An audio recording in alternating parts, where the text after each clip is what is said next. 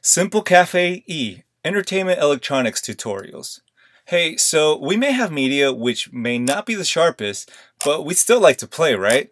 Well, we can if our TVs still have RCA inputs.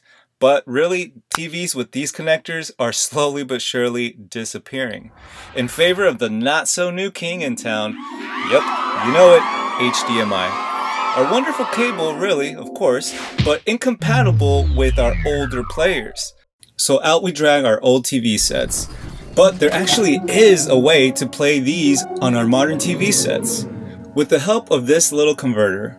Most look like this, but during this installation, I'll be using a different type, which will hopefully give you an idea of the type that'll work best for your setup. And truth be told, this will be the first time I try it myself, so we're gonna find out if this works together. Anyway, this is what a converter does. It takes your RCA devices and converts the signal to go out as HDMI. Say you want to watch precious memories from your camera. Well, instead of plugging it into your TV set, plug it into this converter. And from the other end, we'll be able to connect it to your TV via HDMI. Last thing to do is plug in the power supply. As a matter of fact, if you find yourself a converter which doesn't require any power, I can't recommend it. The thing is, these aren't simple adapters. These are converters which require real energy to convert your signal. Alright, it's setup time. Remember, this is my first time setting this up. So we'll see if this doesn't work, this particular model will not be recommendable. Okay, well this is what comes in the box. The actual converter in a bubble wrap sleeve, and an HDMI cable. That's handy. Slides right out. And unlike the more typical models, notice how this one has cables attached. One of the reasons I chose this type is because these here are input cables for RCA, which extends my reach in case I were to need it. I like the power cable also being attached, that way I can't lose or forget it. And I figured this slender type of converter is easier to hide. As for the power, we can use a USB power adapter or plug it straight into our TV if our TV has that USB input slot. Okay, okay, ready for testing.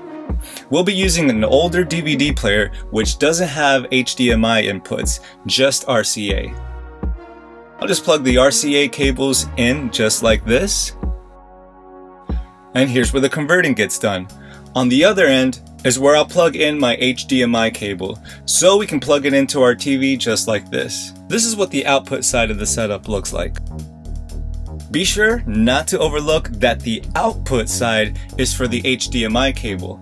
If it's on the input side, you'll end up with the wrong converter. When you do go shopping for yours, just see that it's called RCA to HDMI or AV to HDMI, not the other way around that would end up doing the opposite of what we want. Alright, let's complete the installation. I took out the HDMI cable I had plugged in so I can use this one already plugged into the TV because who wants the hassle of plugging into a TV already mounted to the wall? Okay, now the power will go down here since this TV doesn't have an open USB input. Oh, and the power for the DVD player too. Okay, time for the digital versatile disc. Now, let's see if this RCA device will work with a non-RCA television. Okay, just waiting for the TV to power on. There it is. Next is the DVD player splash screen. Good. Now will the DVD content play? Sweet. Remote drop. And adios. Nah, just kidding. I just want to remind you, when you go out and get your converter, don't just go out looking for a converter and with these words in it. Make sure that the order is this way. RCA to HDMI. Getting yours the other way around will cause disastrous results, as in wasted time and money. Well, I hope you liked my first video for this channel. More electronic entertainment tutorials to come. Let me know if you liked this one, and subscribe if you want my videos to come through on your next search results. Good luck and see you later.